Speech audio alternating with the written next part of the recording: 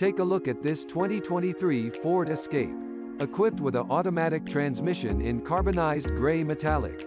This car comes with some great features including adaptive cruise control, rear cross traffic alert, Android Auto, Apple CarPlay and more.